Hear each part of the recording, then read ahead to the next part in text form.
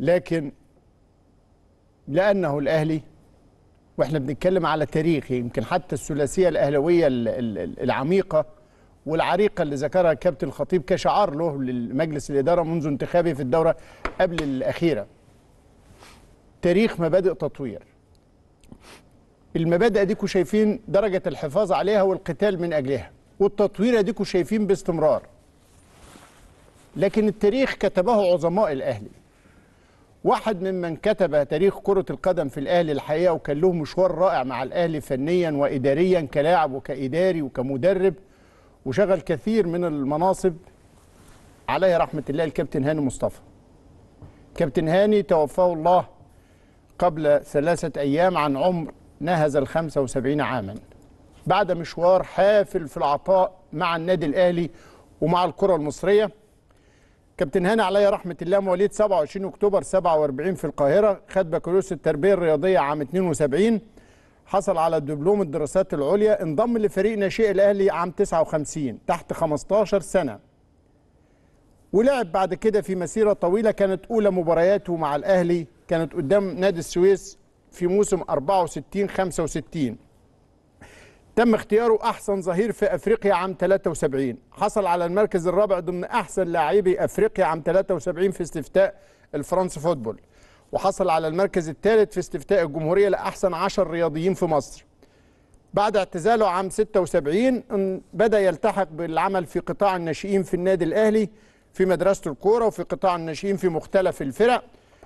تولى المدير الفني لمنتخب مصر وكانت مسيرته الذهبية الحقيقة في عام 1981 لما قاد منتخب مصر في كأس العالم للناشئين بأستراليا. الجيل الذهبي اللي حصل المركز الخامس واللي قدم للكرة المصرية نخبة من ألمع نجومها لسنوات طويلة. جيل كان بقيادة الكابتن طاهر أبو زيد الكابتن علاء ميهوب الكابتن خالد القماش محمد عاشور وغلب منتخبات محمد عريقة. حلمي.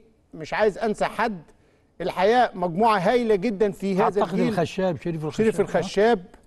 مجموعة هايلة جدا كابتن محمد حشيش. ومحمد حشيش طبعا وأسامة عباس. مجموعة هايلة قدمها الكابتن هاني مصطفى من خلال هذا الجيل للكرة المصرية وخد مركز خامس في بطولة كأس العالم في أستراليا 81 بعد كده اشتغل مدير كرة في النادي الأهلي لسنوات وكانت له بصمته وتأثيره ودرب منتخب مصر تحت بعد كده في المنتخب الأول والمنتخب الأولمبي. كان له مسيرة أخرى الحقيقة موازية اداريا رائعة جدا.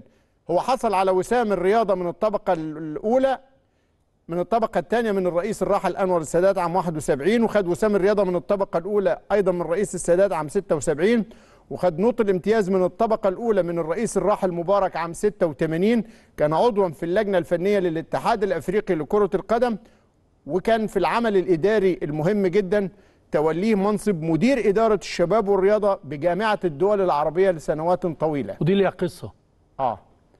قصتها اتفضل. وده اللي أنا عايز دي تدلك على شخصيته. كابتن هاني مصطفى رحمة الله عليه واحد إن لم يكن أسرع والأكثر رشاقة بين لاعبي آه، مصر اللي اشتغلوا هذا آه، المركز الستوبر. واللي لازم الناس تعرفه آه. إن الكابتن هاني بدأ جناح أيمن. آه. ولكن آه كابتن عبده صالح الوحش أعتقد هو اللي نقله يلعب في مركز آه ال back اليمين. آه، لا ال stopper. ال stopper back يمين وبعدين ال stopper. آه. هو كان جناح أيمن. اللي هو آه، آه، يعني أو الليبرو الليبرو ليبرو بشكل أدق يعني.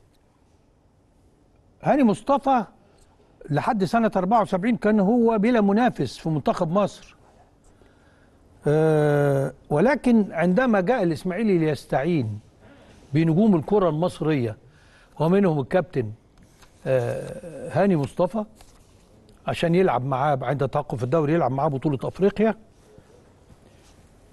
سئل هاني كابتن هاني مصطفى طلباتك المادية إيه؟ قال له عثمان بيه أنا مش عايز فلوس. قال له أمال عايز إيه؟ قال له عايز أتعين في جامعة الدول العربية. في في مفاجأة ما كانش حد باصص عليه لا مين من لعيب كورة عايز يروح في ده سلك دبلوماسي تقريبا. آه آه.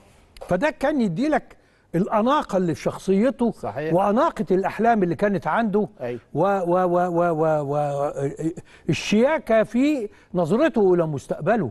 مم.